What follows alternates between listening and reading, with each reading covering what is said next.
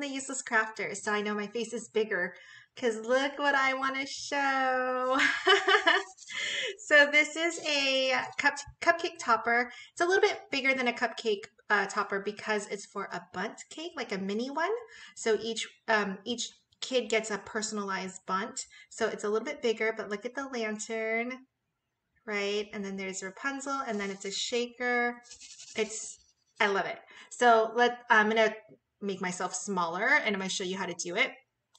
Okay, so first thing is I did buy these images. So I went on Etsy and searched Rapunzel SVG file. Okay, so let's bring in the images that we used.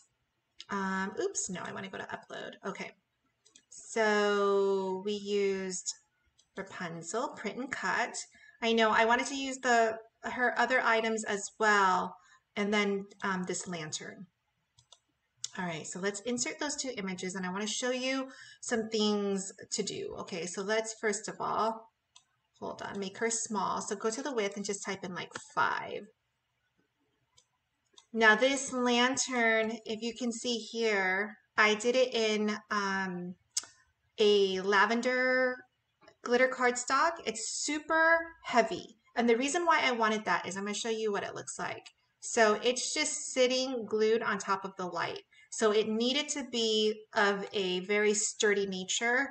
So it's not the Cricut brand. I want to say I bought it at Joann's Open Stock. And um, if you didn't know this, Joann has open stock paper um, just like throughout the throughout the year. They'll go on sale for anywhere between 50 and 70% off. So of course I wait till 70% off and then I stock up on all these beautiful colors, right? And they're really good quality because like um, some of these sheets are, you know, $2 a sheet, $5 a sheet. So I definitely wait for that to buy it. So I, I don't use it all the time, but that's the purple one. Now, the cool thing about this image is, if you can see right now, it's in two pieces, right? It's the top lantern and then the bottom half. Well, I don't want it in two pieces. I want it in one piece. So what you want to do is go to shapes, and I just brought in a circle, okay? I still like the detail of it, you know, having this slit right here, so it kind of shows that there's um, a, a layer in there, but I don't want to deal with two pieces. So I'm just going to weld this corner right here, okay? So I'm going to go in and kind of put it, my mouse isn't working that well today, but let's grab those two, those two items and weld it. So now when I go to cut this thing, oops, I didn't, what? Okay. When I go to cut this, all of the black or the purple layer is one thing. I mean, look at the, the little sun part, right? It's actually the black part is all connected. Everything just falls out. It's a beautiful design. I love it. Now, because we're going to put a light behind it, okay? So duplicate this lantern and go to contour and hide all. So now we have this beautiful little thing and um, you know what? The vellum paper, when I went to cut this, it did rip a little. So I think what I want to do is this. I want to make this smaller and I want to just, uh, hold on, let's unlock it and let's get it to the right. Oops. Let's get it right in there to close this up. Okay, grab these two items and weld. And then now this piece, all you do is you click on it and go to contour and hide all. And now you'll have a blank, a full piece. So this piece, I'm going to make it kind of clear so that in my mind, I know it's vellum paper. Um, and then this piece, arrange, send to the front. It's going to sit like this. And then I'm going to have the light behind it. It looks amazing. I love it. It's like a frosted paper like clear it's i mean i would call it almost like tracing paper if you don't know what that is. Um i bought it on amazon so it's on my amazon shop as well as the light. So it's amazon.com slash shop slash the useless crafter. It is under my cake topper materials. I appreciate any support there. So if you use my links yay i love you as my daughter would do.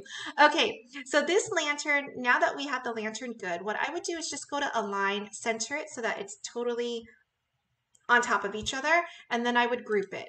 So now whenever I deal with with sizing, they both get sized to the same size. So that's going to be important. Okay. Um, I know we're still building things, so we haven't even talked about the structure, but I just want to make sure that you know how to do these little things. Now, um, with print and cut, um, uh, my printer only prints out well on just regular copy paper. So it's thin. Um, and so what I always like to do is um, I bring in a square. So I'm to print this onto my copy paper. It's super thin. My Cricut's going to cut out the outline, which it did beautifully. No issues at all. I cut it on, sometimes I cut it on medium cardstock. Sometimes I cut it on light cardstock. It just depends on how much I've used that particular blade already. So that's how I do it. Okay, so I take the square, make sure the square completely covers Rapunzel and grab the two items and slice. And so now you have this piece that you can cut in 65 pound cardstock, 110 pound cardstock, whatever. It's gonna sit right behind Rapunzel. So let's arrange, to the back, grab the two items, and we're gonna center it again because we haven't sized anything yet, right? And then let's group it. So that little piece is gonna keep it really sturdy. So if you see her hair right here, it's not flimsy. The whole thing's not curled up. Everything on this cake topper is sturdy and legit. that's the one thing I hate is a cake topper that's flimsy. Um, you can have intricate intricate details and designs, but you need to know how to make it sturdy because you don't want anything flopping.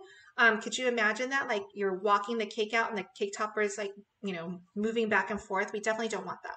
Okay, so we fixed that. We fixed the lantern. Let's get the lantern over here. Let's start making it the right colors. So I did that in a purple.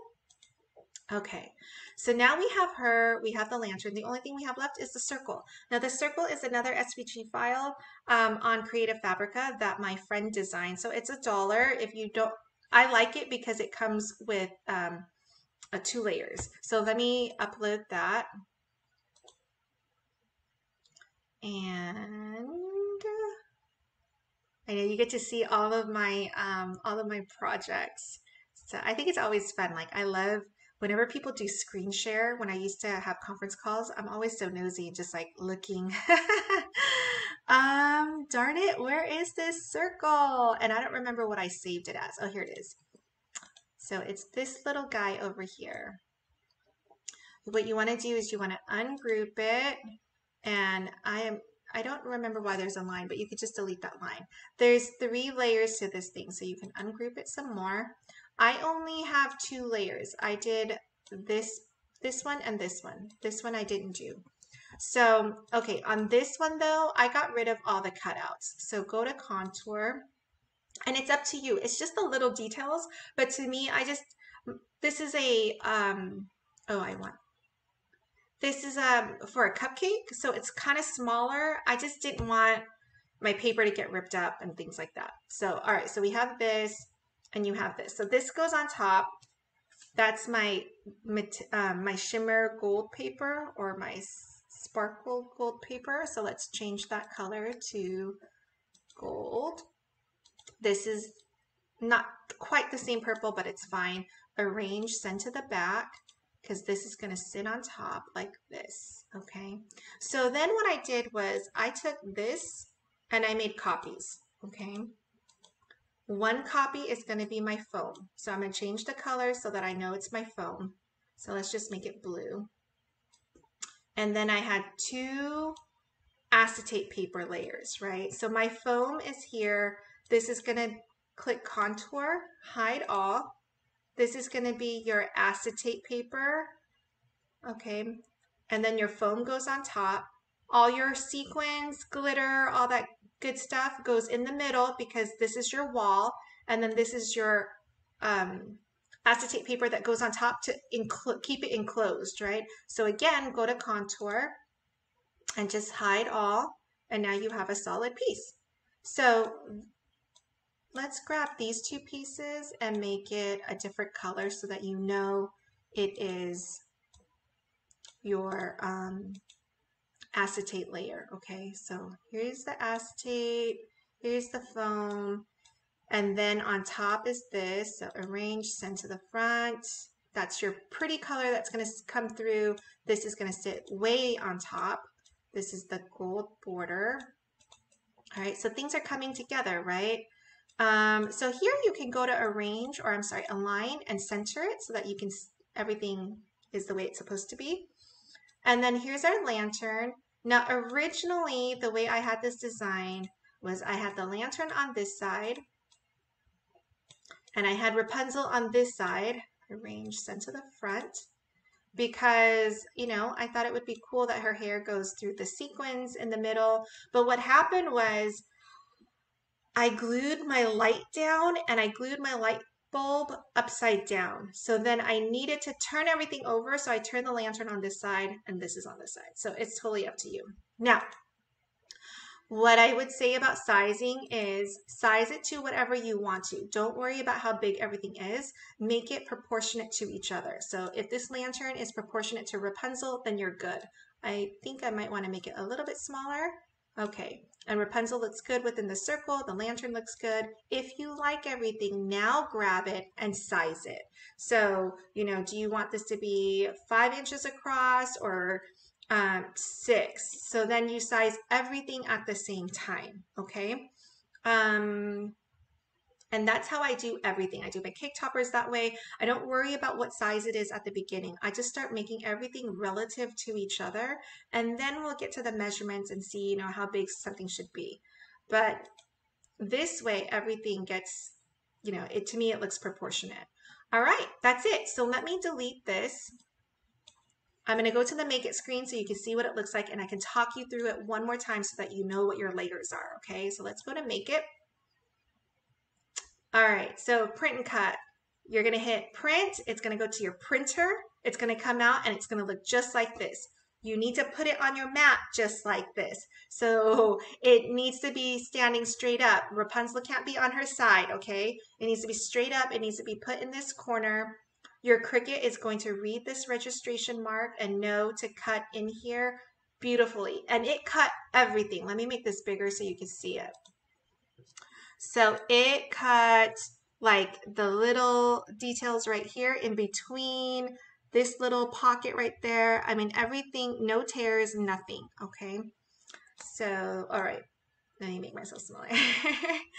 okay, so then um, this is your acetate paper. Now, I don't use acetate paper. It's on my Amazon shop. I use the Avery protect sheet protectors. It's so cheap. So, and it's worked fine for me. And I think I mentioned it on my other video. It also works well for the button machine maker. So I just got a, you know, the personalized button maker from We Are Memory Keepers and they use mylar paper but I already have Avery sheet protectors and it felt the same. So you can now have multi multi uses for it.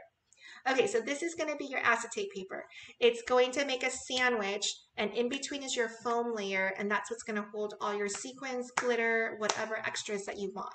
Now, if you want thicker extras, like um, I've seen people put in like little beads and whatever, you're going to need to double up your foam.